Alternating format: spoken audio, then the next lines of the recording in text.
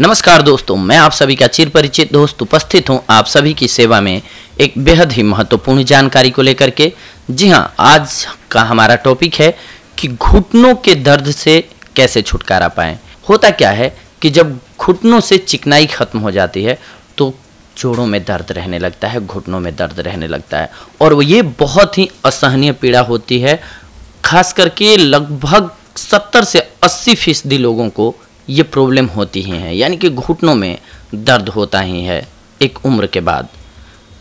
जैसे जैसे उम्र बढ़ती जाती है, घुटनों में से चिकनाई खत्म होती जाती है, फिर ये प्रॉब्लम स्टार्ट होती है कि दर्द होने लगता है। इस दर्द से कैसे निजात पाया जाए, ये बहुत ही बड़ी एक समस्या है। इसके लिए सबसे पहले तो जान लें कि स्टार्टिंग से ही अगर आप यंग हैं तो केयर करें, ध्यान रखें कि कभी भी खड़े होकर के पानी ना पिएँ। ताकि आप इस समस्या से बच सकें। इसके अलावा, पानी कभी भी लगातार कटकते हुए न पिए, घूट घूट करके पिए।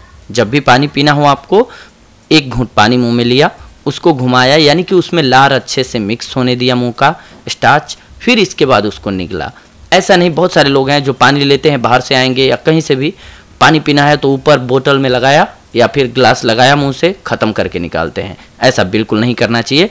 पानी हमेशा आपको ध्यान से पीना चाहिए, मुँह में घुमा घुमा करके पीना चाहिए, टाइम लेके पीना चाहिए, नहीं तो फिर ये प्रॉब्लम झेलने के लिए तैयार होना पड़ जाएगा। अगर आप इस प्रॉब्लम से बचना चाहते हैं तो ये सबसे अच्छी टिप्स है आपके लिए कि आप पानी सही ढंग से पिए। इसके बाद अगर घुटनों में दर्द हो ही गया है तो आइए हम आज एक कुछ एक ऐसी औषधियों के बारे में बता रहे हैं, जिनके सहारे आप घुटनों की चिकनाई को पुनः वापस पा सकते हैं। मान लीजिए, अगर घुटनों की चिकनाई खत्म हुई हो और जोड़ों के दर्द में किसी भी प्रकार की दवा से आराम नहीं मिल रहा हो तो ऐसे लोग हर सिंगार, यानी कि पारिजात पेड़ के 12 पत्तों को कूटकर एक गिलास पानी में उबाल लें। ध्यान से सुन लीजिए, क्या करना है आपको? हर सिंगार, यानी कि पारिजात जिसे बोलते हैं, इस पेड़ की 12 पत्तियों को कूट करके एक गिलास पानी में आपको उबाल लेना है। जब पानी का एक चौथाई भाग बच जाए इसका कहने का हमारा मतलब है कि आपको पानी को उतनी देर तक उबालना है उस पत्ते को कि पानी तीन भाग जल जाए, एक भाग बच जाए। इसके बाद आपको बिना छाने ही ठंडा करके इसे पी जाना है। नब्बे दिन में चिकनाई पूरी तरह से वापस बन जाएगी आपके घुटनों की।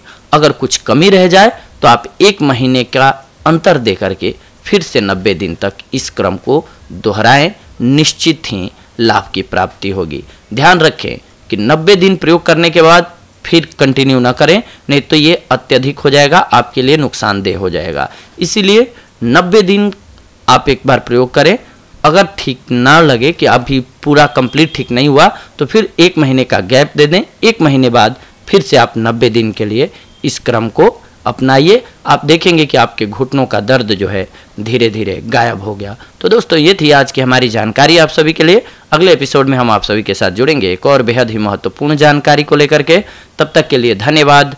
नमस्कार दोस्तों।